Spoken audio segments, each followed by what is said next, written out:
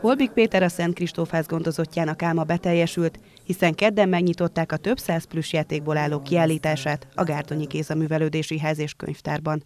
Kiállításnak az ötlete felmerült, akkor, akkor én ezt a munkahelyemen is meghirdettem, és hát az összes ismerősöm mozgosította magát. A rendhagyó tárlat Kovács Szilvia kolléganőm közbenjárása nélkül nem jöhetett volna létre, aki Szilvási Grunt Helgával, a Művelődési Ház igazgatójával egy kisebb meglepetéssel is készült Petinek amikor azt mondta az anyukája, hogy szeretnének egyszer majd valaha egy kiállítást, és ez mekkora álom, akkor én meg tudtam, hogy ez, ez nem egy megvalósíthatatlan feladat, úgyhogy tényleg egy telefon volt, és azonnal meghallgatásra nyert a kívánságunk, úgyhogy én nagyon hálás vagyok Szilvesi Grunt Helgának, hogy befogadta ezt a kiállítást. Én azt gondolom, hogy nagyon fontos, hogy támogassuk a fogyatékkal élőket, és ez nekem szívügyem, és ugye azt is több fórumon elmondtam már, hogy, hogy őket nem elrejteni kell, hanem megmutatni azt, hogyha valamiben jók.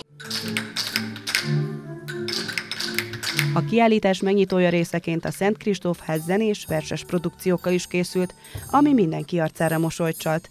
Különösképpen Lerner Zsolt, Székesfehérvár alpolgármesterének, aki elmondta, a hosszú nap után ez a megnyitó egy lelkifröcs volt a számára.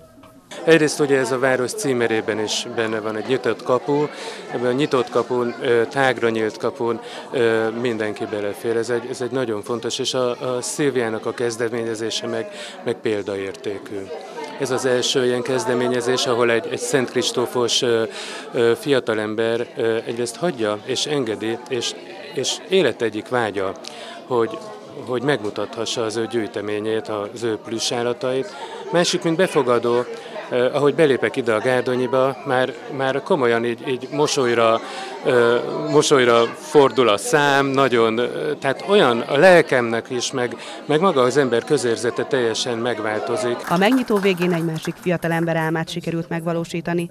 Tibi régi álma az volt, hogy a tévében elmondhassa, hogy telnek a Szent Kristóf házas mindennapok. Nagyon jó érzem magam a Szent Kristóf házban, nagyon sokat szoktunk szőni, akkor ilyen dalkötőt szoktunk csinálni, fűzni, nagyon aragozni, vagy aragos műhelyünk a Szent. A különleges tárlat az idősebbek számára nosztalgikus hangulattal, a kicsiket pedig a játék örömével töltheti el.